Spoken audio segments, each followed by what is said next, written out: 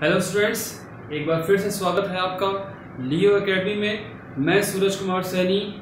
आप लोगों को आज आपके टेंस की क्लास आगे लेकर के चलूँगा। लास्ट क्लास में हम लोगों ने प्रेजेंट के परफेक्ट और उसके कंटिन्यूस के बारे में जाना। उसमें हिंदी से इंग्लिश के सेंटेंसेस बनाए। और आज इस टेंस को मैं ख़त्म करने वाला हूँ। प्रेजेंट परफेक्ट कंटिन्यूस की क्लास लेकर के। तो बहुत ध्यान से देखिएगा, समझिएगा, पसंद आएगा लाइक करिएगा शेयर करिएगा और अगर सब्सक्राइब नहीं किया है अभी तक सब्सक्राइब कीजिए क्योंकि आज प्रेजेंट परफेक्ट कंटिन्यूस खत्म होगा और नेक्स्ट क्लास में हम लोग पास्ट की तरफ़ मूव करेंगे। तो आइए, चलिए स्टार्ट करते हैं प्रेजेंट परफेक्ट कंटिन्यूस टेंस लेकिन उससे पहले मैं आपको एक बात बता दूँ कि आप लोगों ने पिछले सारे क्लासेस पढ़े होंगे और मुझे उम्मीद है कि उस पर आप लोगों ने मेहनत भी की होगी। हिंदी के सेंटेंस को इंग्लिश में ट्रांसलेट किया होगा। लेकिन अगर कोई प्रॉब्लम अगर आपको हो रही है तो आप मुझे कमेंट में लिख करके बताइए कि आपको टेंस रिलेटेड क्या प्रॉब्लम हो रही है। आपके पास मेरा व्हाट्सएप नंबर डिस्क्रिप्शन में लिखा हुआ है। आप मुझे उस पर कॉन्टेक्ट कर सकते हैं। अगर आप लाइव क्लास करना चाहते हैं तो आप सीधे एकेडमी आकर के मुझसे लाइव ट्रेनिंग भी ले सकते हैं। तो चलिए आइए स्टार्ट करते हैं। Present perfect continuous tense present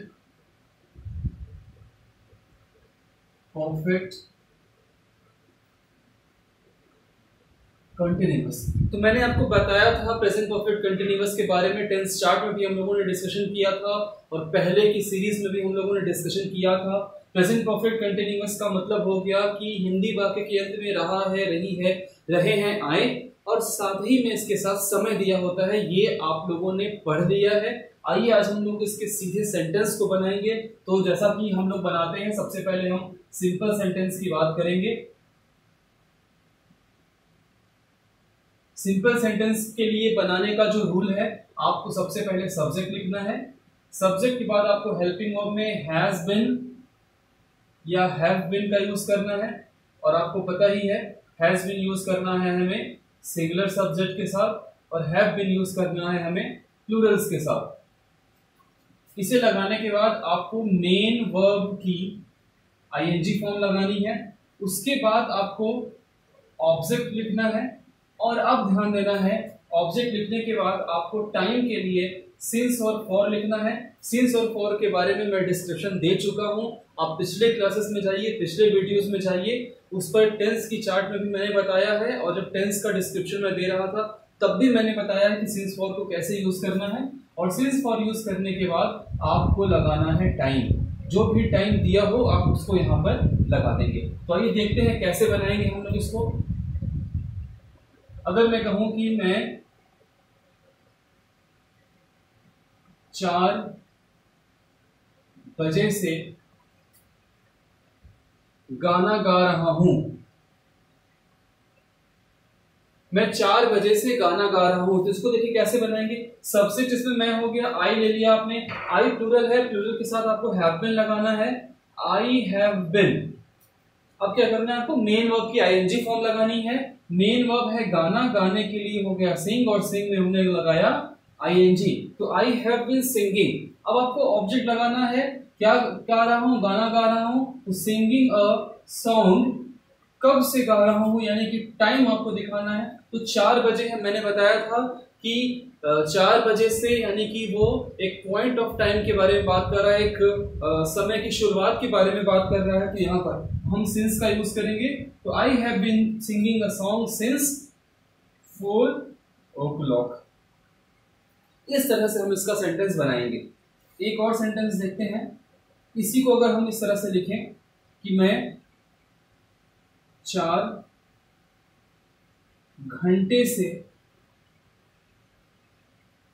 पढ़ रहा हूँ। मैं चार घंटे से पढ़ रहा हूँ तो मैं सब्जेक्ट को आई लगाया इसके साथ हैव बिन लगाना है आई हैव बिन और पढ़ने के लिए स्टडी या रीड का हम लोग यूज़ करते हैं तो study I have been study अब आपको देखना है समय के बारे में, क्योंकि ऑब्जेक्ट है नहीं तो हम सीधे समय को लगाएँगे। समय कैसा है? चार घंटे। चार घंटे का मतलब क्या हो गया? यहाँ पर हमारा काम, पढ़ाई, जो पढ़ रहा हूँ मैं, वो कब से मैंने शुरू किया ये बात नहीं बता है, लेकिन ये पता है कि मैंने कितने देर पढ़ाई की है। यानी इसमें हाउ लॉन्ग के बारे में पूछा जा रहा है ड्यूरेशन के बारे में बात की जा रही है, और मैंने बताया था जब भी ऐसी सिचुएशन हो तो वहाँ पर हम फॉर का यूज़ करते हैं।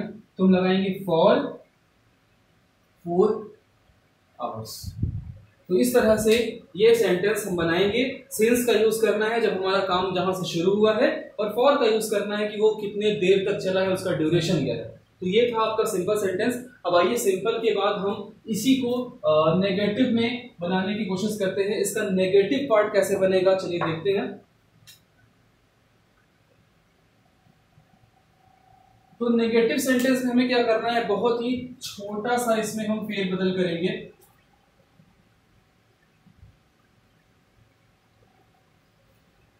इसको आपको ध्यान से समझना होगा। नेगेटिव और इंट्रोगेटिव सेंटेंसेस बहुत आपको ध्यान से समझना होगा। देखिए, सबसे पहले हमें क्या करना है कि हैज़ लगाना है और हैव लगाना है। ठीक है? हैज़ हैव के बाद हमें नॉट लगाना है और नॉट के बाद बिन लगाना है। ये थोड़ा सा बदलाव इसमें करना पड़ेगा आपको। हैज़ हैव के बाद नॉट लगाएँगे, हम फिर बिन लगाएँगे। उसके बाद जैसे सेंटेंस हम बनाते हैं, वैसे ही बनाएँगे सिंगलर के लिए प्लूरल के लिए और सिंस और फॉर टाइम के साथ। ठीक है, आइए बनाते हैं सेंटेंस इसका। राहुल सुबह से नहीं नाच रहा है। राहुल सुबह से नहीं नाच रहा है। तो इसे हम कैसे बनाएँगे? सब्जेक्ट हमारा हो गया राहुल। हमने राहुल लगाया। राहुल, उसके बाद सिंगलर है, हैज़ लगाएँगे। फिर रूल के अकॉर्डिंग हमने नॉट लगाया, राहुल हैज़ नॉट। फिर हमें बेन लगाना है। Rahul has not been. अब क्या है? नाच रहा है। नाचने की इंग्लिश लगा दी हम लोगों ने। Dancing. Rahul has not been dancing. कब से नहीं नाच रहा है? सुबह से। और सिंस का यूज़ करेंगे। पॉइंट ऑफ़ टाइम के बारे में बात हो रही है। तो सिंस लगाया और क्या लगाया? मॉर्निंग सिंस मॉर्निंग तो Rahul has not been dancing since morning ठीक है? अब आइए एक और एग्जांपल देखते हैं. वे क्रिकेट के मैदान में,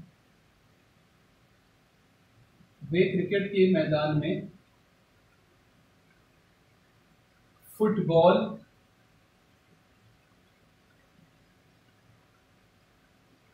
नहीं खेल रहे हैं। अगर हमें इसे बनाना हो तो हम कैसे बनाएँगे? वे की इंग्लिश हो गई दे दे के साथ हमें लगाना है हैव नेगेटिव सेंटेंस है, ना आपने लगाया not they have not been been के बाद खेलने की इंग्लिश हो गई प्लेइंग क्या खेल रहे हैं? फुटबॉल तो they have not been playing football अच्छा कहा नहीं खेल रहे हैं? तो क्रिकेट के मैदान में. तो कैसे लिखेंगे? इन क्रिकेट फ़ील्ड या in cricket ground they have not been playing football in cricket field इस तरह से हमारा नेगेटिव सेंटेंस बन जाएगा।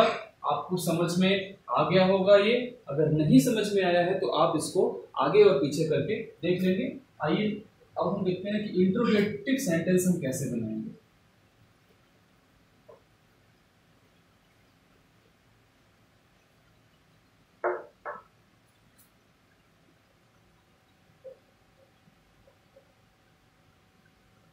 इंट्रोगेटिव मैंने बताया था कि दो तरह के इंट्रोगेटिव होते हैं।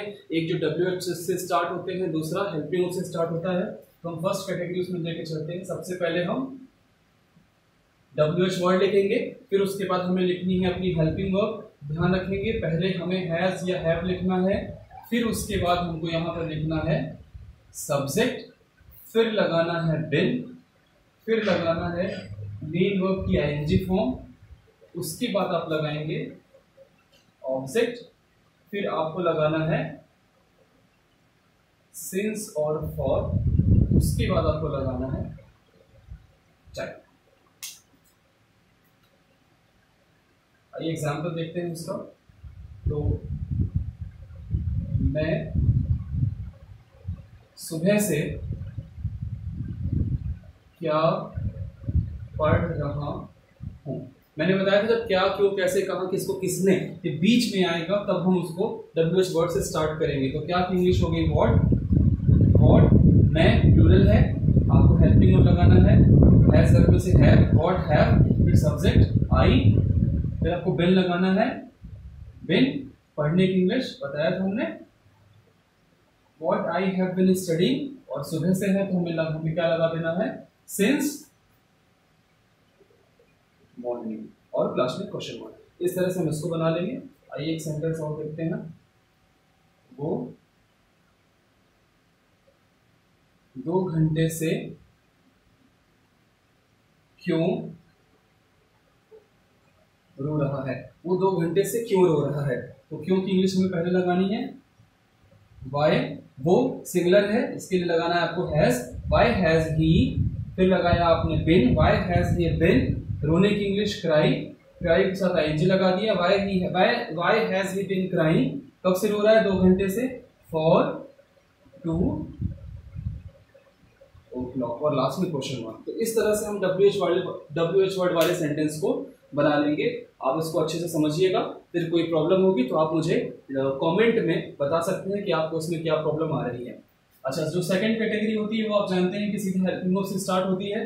तो ये सीधे हेल्पिंग ऑफ़ से स्टार्ट होने का फॉर्मूला है, जहाँ पर हम सीधे अपने सेंटेंस को हेल्पिंग ऑफ़ से स्टार्ट करते हैं। और हिंदी में वाक्य जो है हमारा वो क्या से शुरू होगा? ये बात भी आप बहुत अच्छे से जानते हैं। तो जैसे हम लिख सकते हैं कि क्या? गीता बचपन से खेल रही है। क्या गीता बचपन से खेल रही है? सबसे पहले हमने अच्छा क्या देख रहे हैं? और गीता सिंगलर है तो उसके लिए हमें हैज़ लगाना है तो हम हैज़ पहले लगा देंगे, फिर सब्जेक्ट लगाएँगे। Subject means Geeta has Geeta, फिर लगाया हमने बिन हैज़ गीता बिन खेलने की इंग्लिश प्ले प्ले में लगाया I N G has Geeta been playing कब से खेल रही? बचपन से। अच्छा बचपन भी एक ऐसा समय है जहाँ से बुक्स ने खेलना शुरू किया है। तो लगाया आपने सिंस और चाइल्डहुड लास्ट में क्वेश्चन समझ में आ गई बात? आइए दूसरा क्वेश्चन देखते हैं। क्या? उमेश। डांस कर रहा है? क्या उमेश?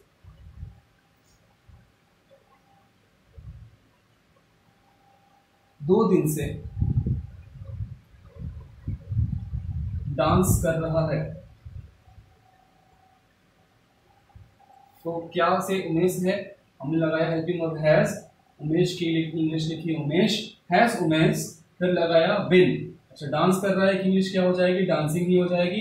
तो हैज़ उमेश बिन डांसिंग अच्छा दो दिन, कौन से दो दिन है? नहीं पता है। कब से उसने शुरू किया है? नहीं पता है। एक ड्यूरेशन ऑफ़ टाइम दिया तो फॉर लगाया। फॉर टू डेज़ इस तरह से ये हमारा इंट्रोगेटिव का सेंटेंस बन जाएगा। और इस तरह से प्रेजेंट परफेक्ट कंटिन्यूस हमने और आपने साथ में मिलकर के खत्म कर लिया है। आप इस पर और सारे क्वेश्चन बनाइएगा।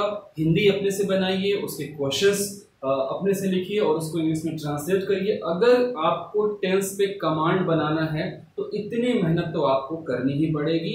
और मेरी बात मानिए कि आप अब सोचिए नहीं, हिंदी के सेंटेंस बनाना शुरू कर दीजिए, उसकी इंग्लिश बनाना शुरू कर दीजिए और धीरे धीरे आपका प्रेजेंट पर पूरी तरह से कमांड बन जाएगा और बहुत जल्दी हम लोग पास्ट की क्लासेस स्टार्ट करेंगे। पास्ट की क्लास को मैं दो दिन में खत्म करूँगा। फ़र्स्ट डे पास्ट इनहेरिटेड और पास्ट कंटिन्यूस शुरू करूँगा और सेकेंड डे पास्ट परफेक्ट और पास्ट परफेक्ट कंटिन्यूस खत्म करके हम लोग फ्यूचर के बारे में आगे बढ़ेंगे। और एक बार टेंस खत्म हो जाने दीजिए, उसके बाद हम लोग फिर अगली क्लास नरेशन पर करेंगे। डायरेक्ट और इनडायरेक्ट नरेशन क्योंकि वो क्लास थोड़ी लंबी होनी है, उसमें समय लगेगा।